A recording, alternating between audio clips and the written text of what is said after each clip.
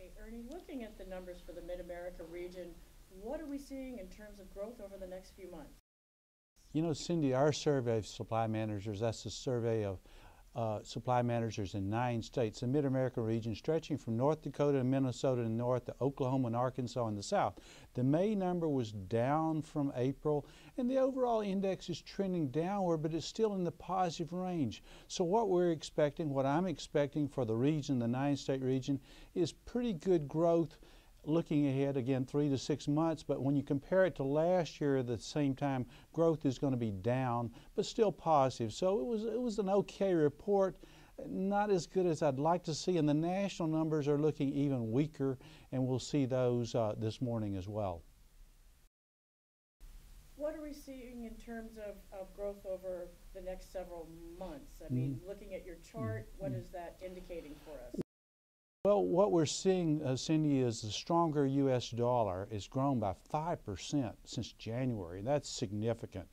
The growth is pushing, pushing up, pushing, uh, has, has restrained uh, price declines. In fact, has pushed up commodity, agricultural commodity prices energy commodity prices. Of course, that's slowing down growth, particularly for this part of the country that depends heavily on a weak dollar. And again, the dollar has come up in value, and as you see by this, by our graph here, things are looking at least trending downward a bit, but still in the positive range. Again, 50 is growth neutral, and the index is well above growth neutral in the 55 to 56 range. The U.S. number, on the other hand, is around the 50, around growth neutral 50.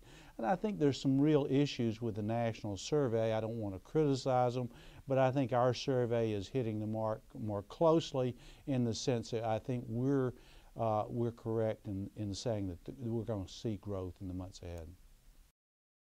In terms of jobs, what are we seeing? Job growth is looking pretty good, Cindy, but even there it's trending downward. We're likely to see growth uh, in the one below 1%. That's annualized. We need to see growth between 1 and 2%. When we ask about wage growth, how much wages, how much do you expect your income to grow next year?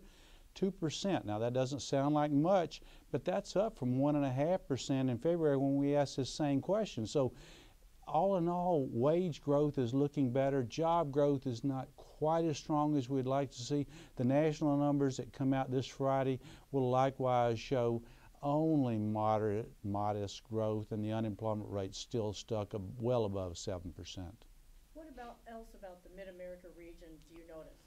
Uh, the biggest thing to come out of our May survey is that so that price pressures are coming down. That's wholesale price pressures, inflationary pressures, and what the heck does that mean for the consumers out there and for businesses as well?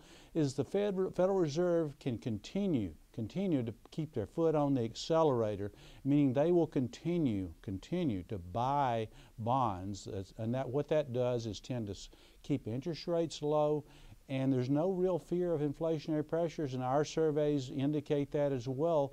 So those who've been real concerned about rising in, uh, interest rates, they're going to rise a bit in the months ahead, but not, not significantly. So those who are looking at mortgage rates uh, remaining low, they're going to remain fairly low, but up a bit. What about the confidence level for the region? Confidence was up, Cindy. It's looking pretty good. Uh, in fact, uh, uh, with the housing sector continuing to do well in terms of prices now, not so much in terms of jobs, but housing is looking much stronger in the region, in the nation. But if you look at jobs, not as much there.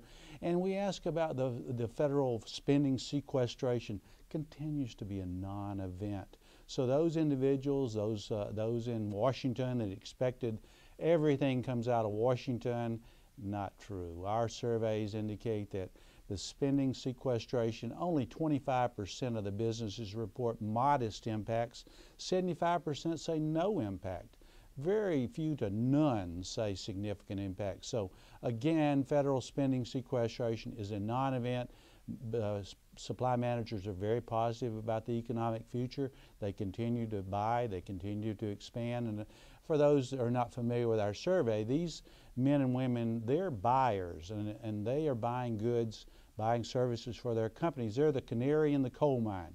So if things are looking pretty good for them right now, things will look good for us later on, and I, I expect that to continue to happen. It's just not enough growth to put us back into the go-go days of 2006 and early 2007.